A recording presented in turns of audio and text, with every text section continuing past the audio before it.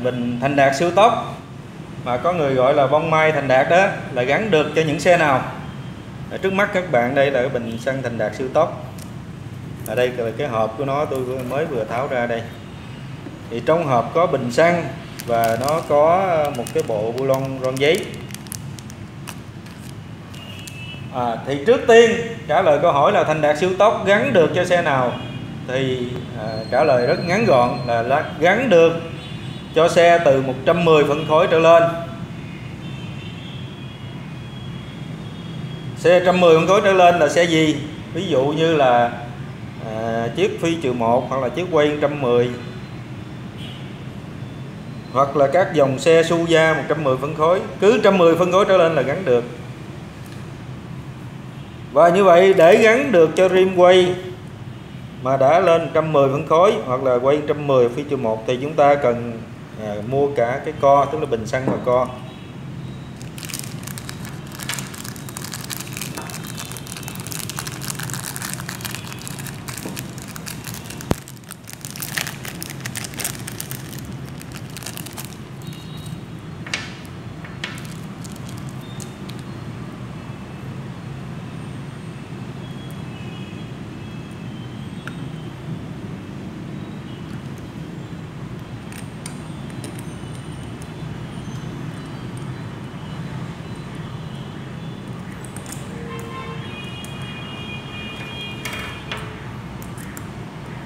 đây tôi lắp cái co vào cái bình để cho chúng ta thấy nó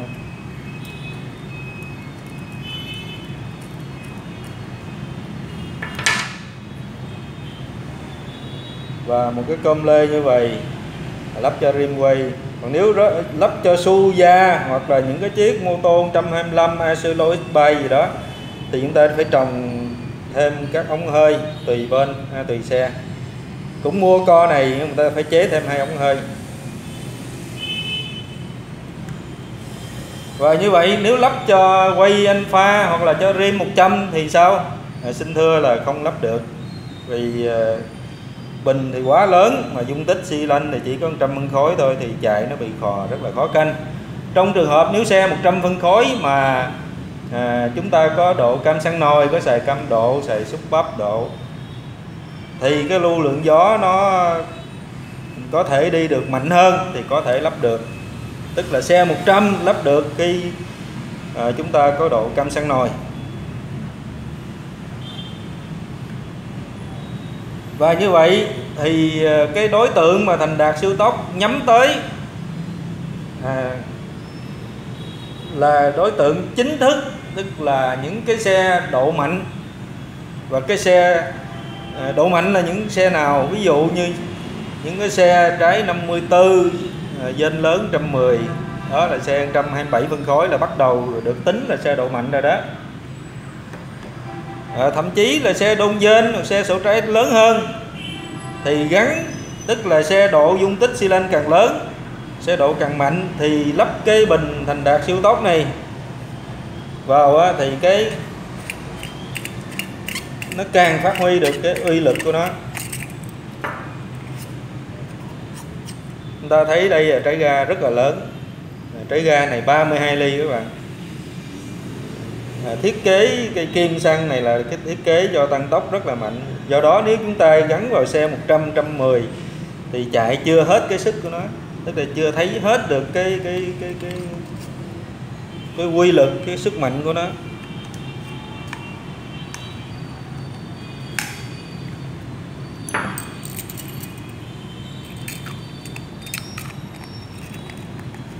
À, đó là tôi đã nói cái à, cái giới hạn thấp nhất là 110 phân khối nè hoặc là xe 100 là phải có độ à, cam xăng nồi nè. Rồi cái đối tượng mà nó chú ý tới nhiều nó hướng tới nhiều nhất để phục vụ để lắp được là những cái xe à, độ sổ trái đông dên hoặc xe độ sổ trái đi dên lớn đó là giới hạn dưới và cái trung bình. Còn giới hạn cao nhất thì nó lắp được cho xe gì? Thì ờ, thực tế có những chiếc rim quay độ lên 175 hoặc là 245 phân khối thì cái xe này hoàn toàn đáp ứng được à, cái bình thành đạt siêu tốc này hoàn toàn đáp ứng được cho những xe độ mạnh như vậy. À, những xe độ sổ trái 62 ly rồi đôn dinh 16 ly vân vân. Một cái trường hợp nữa tôi cũng có gặp ở, ở ờ, một số bạn hỏi và thực tế là cũng đã có à, lắp được cho một số xe rồi. Vì thành đạt siêu tốc này nó chỉ mới ra vài tháng thôi thành ra cái số lượng mà lắp cho à, Exciter nó chưa nhiều. À, nhưng mà cũng xin trả lời luôn tức là bình thành đạt siêu tốc này đã lắp được cho vài chiếc Exciter. 135 và à, hiệu quả rất là tốt. Thì muốn lắp cái bình thành đạt siêu tốc cho Exciter thì chúng ta phải mua thêm à, cái co tròn center này. Và cái tên của nó đây là co tròn 32 ly.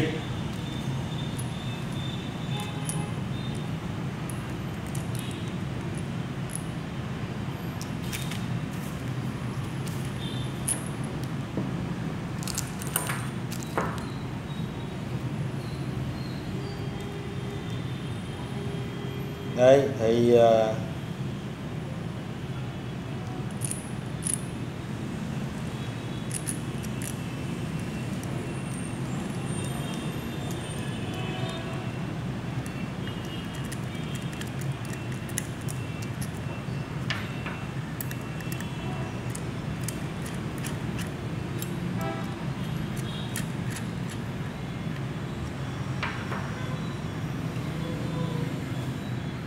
tức là chúng ta sẽ mua bình thành đạt siêu tốc nè và cái co tròn 32 ly.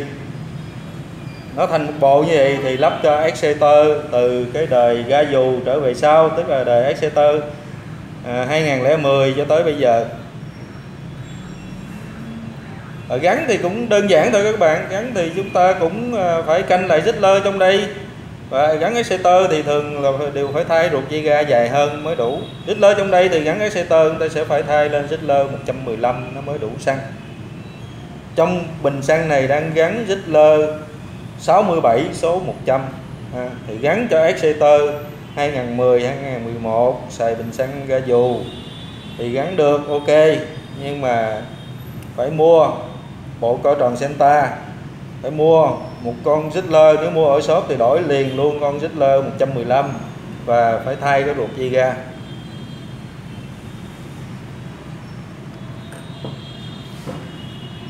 Còn như vậy cũng có người hỏi là nếu gắn cho, nếu gắn cho cái chiếc Exeter 2009 Exeter GB hoặc là những cái đời ờ, trước 2010 tức là đời xài bình xăng mà kéo ờ, cáp trực tiếp vào trong quả ga đó thì gắn được hay không thì xin thưa cũng gắn được. À, với cái chiếc Exeter 2009 về trước nhất là Exeter xài ờ, cái bình xăng mà kéo cục ga trực tiếp á, cáp ga kéo trực tiếp vô cục ga đó không phải là bình ga dù á thì chúng ta sửa lại cái co và chúng ta sẽ bắt trực tiếp như thế này. Như vậy thì tóm lại là thành đạt siêu tốc là bắt được, chúng ta nhớ mấy ý chính như vậy, bắt được cho xe từ 110 phân khối trở lên. Thứ nhì là bắt được cho xe rim quay 100 phân khối, có độ cam xăng nồi. Hoặc có độ gì đó, ha, sổ trái đông dân gì đó, càng tốt. Thứ ba, đối tượng chính mà bình thành đạt siêu tốc, hướng tới là lắp được cho những xe độ mạnh xe độ càng mạnh thì bình thành đạt siêu tốc càng phát huy được cái sức mạnh cái uy lực của nó. Và cái giới hạn của thành đạt siêu tốc là vẫn gắn được cho những cái chiếc xe độ mạnh à, lên tới 250 phân khối. À, ngoài ra thành đạt siêu tốc lắp được cho các mô tô và có số bạn hỏi là lắp được cho Exeter hay không? Thì tôi cũng giới thiệu là như nãy đã trình bày lắp được cho Exciter đời ga dù thì mua thêm cái co tròn Senta như thế này. Và nhớ là mua bình siêu tốc thì mua co tròn 32 ly. À, co tròn 32 ly. Nó lớn hơn cái co tròn mà của trước đó là của Senta 150 175 và nếu lắp cho cái cái cái bình của lắp cho exeter thì nhớ đổi dít lơ sang số 115 trong bình xăng này là đang gắn dít lơ 100 dít lơ 67 và cũng sẵn đây thì cũng nói luôn tức là chúng ta à, canh thì nhớ lưu ý là thứ nhất là dít lơ đang trong bình siêu tốc là số 100 dít lơ 67 và chúng ta cần mua những dít lơ à, gần cái số này lớn hơn nhỏ hơn để chúng ta canh cho thuận tiện.